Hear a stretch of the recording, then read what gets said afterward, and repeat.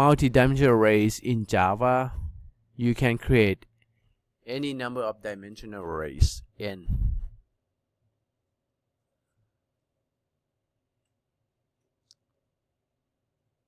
Now, to declare that, we just add the additional brackets. Like in this case, we do three-dimensional arrays. And this is the first. So we can initialize it this way, right? So let's take a look at how the data being stored.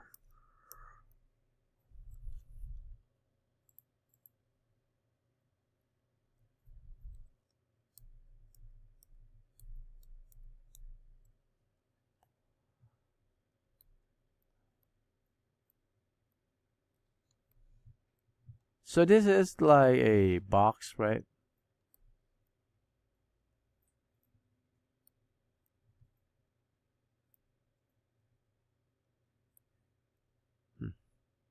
So the first one is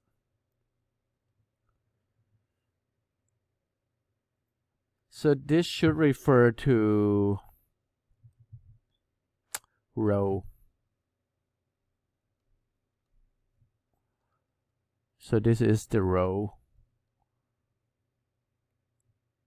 And inside this is the columns. And this is the depth. The whole set here refer to the depth.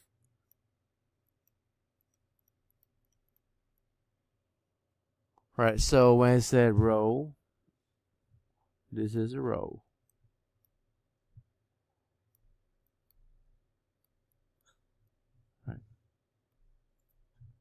and here's the column and for here this is the depth right? In the 3D formats like cubics right? So the first set of data is what? Actually this is two depth right? No uh one two three four five right? Five depth right? 7.5 7.5 and 20.5 that's a column so let's look at index. Uh, I'm going to just link that at a small cubic here. So this should refer to uh, 0 0 and 0 right? And the first zero is the i, the row here. Second zero is the column j. And third zero is the depth. So this is the unit 0, 0, so right here, right? So this unit should store, when you look at 0, 0, that means refer back to 0, 0 is 7.5 right that should store 7.5 that's the first cubic right? I mean the cubic from here that I just brought out. And when you go to the columns that is this is still what? 20 20.5 is still row 0 right? Column 1 correct? And depth is 0. So row 0, column 1, depth 0. That should be that second box right there, right? And this second box should store 20.5. That makes sense? And then you can look at the depth. So this 9.0 actually row what still row 0 right? Column 0 depth 1 which is go to the next box behind that one right?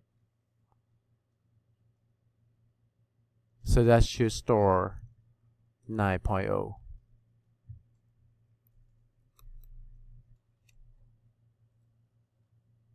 Okay, if you look at a cubic. And 22.5 should be right here.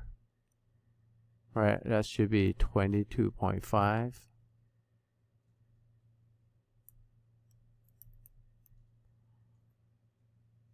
And we just keep doing the depth, so that's going to be 15. 15 should be right there. And 33.5 should be right here. And then 13 and 21.5 and then 15 and 2.5 so that's first row. And the second row is the same the second stack beneath it. So that represent this row. And the third one and the fourth one. And go just go on like that. Make sense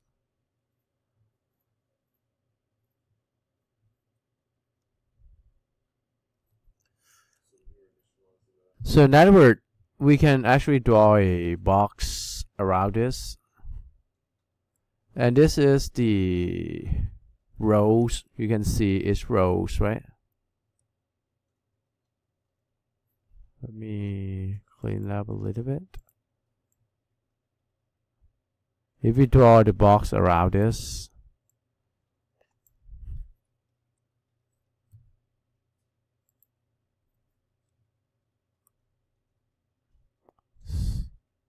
So you see there are rows, which is row 0, 1, 2, and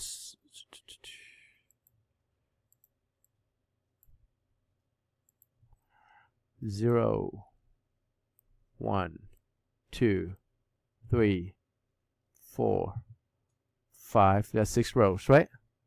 So this is like the row that we draw around this. Correct? And row.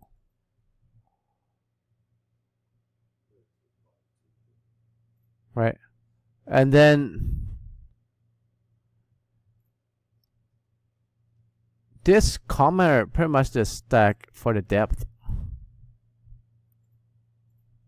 Like each comma that's separate. So this is like a depth right and are only two columns. Right. So this is the column. And that whole set here with the commas to separate them that's represent mapping to a depth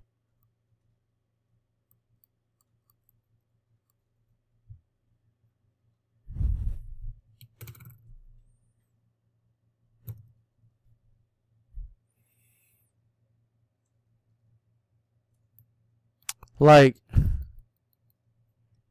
the index for the depth is zero, one, two, three, and four. Right? That's index for the depth. And here's just index for the column zero and one. Make sense? Here's an example of the application for the three-dimensional arrays. So we can write a program to calculate the total score for student in the class.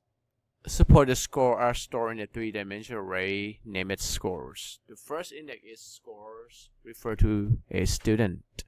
The second refers to an exam. And the third refers to a part of the exam. There's seven student, five exam, and two parts. So IJ, right? And last one, which is the depth, two parts. So represent the score. This is an array to represent the score on the multiple choice part for the I students on the J's exam. And the program will display the total score for each student. So that's how we initialize the two-dimensional arrays we just talked about. And we need to do iterating with three loops. Alright, so since the first row represents students, so we initialize the total score equal to zero after the first iteration. I, J is the columns, which is the exams, right?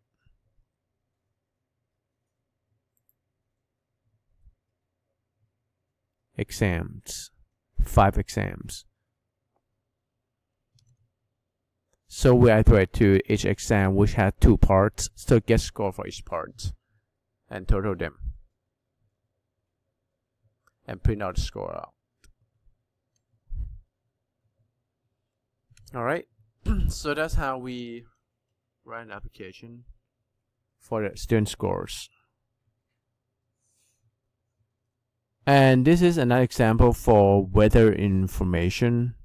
So support the meteorology station records the temperature and humidity at each hour of every day and store data for the past 10 days in a text file named weather.txt.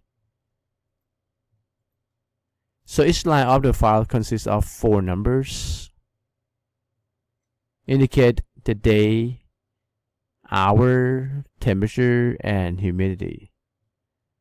So your text to write a program that calculates the average daily temperature and humidity for the 10 days. So you see these are day one to day 10, hour one until like hour 24, right? Humidities and then temperatures.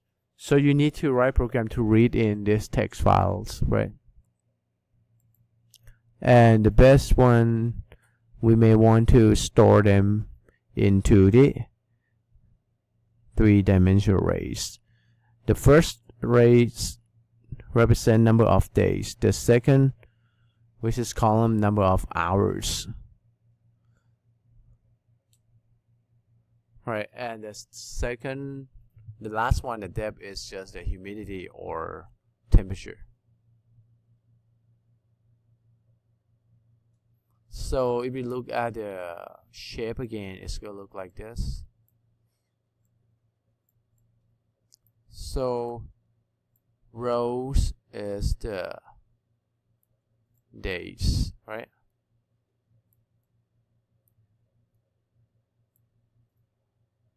Day 1 to day 10. And columns is the hours. Hour 1 to hour 24. But index we can start from 0 to 23 and 0 to 9 but now I just writing then you see it and the depth we just represent what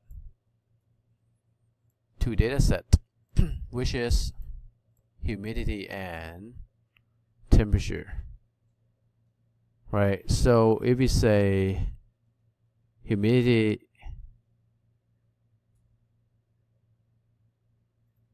so we just iterate through that so we could store the temperature first and then humidity next. So index 0 on the depth and index 1, this could be the temp for index 0. And index 1 is for the humidity. So that's how we store data.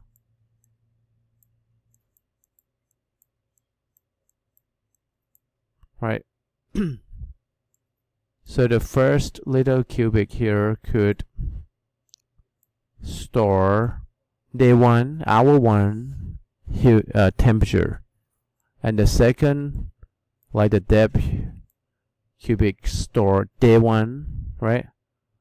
Hour one, like day one, this one hour one, which I would say zero and zero, right? But this one is just to show you right one one and then humidity right so now we can store data in the term of 10 days 24 hours and temperature and humidity using three-dimensional arrays right according to that declaration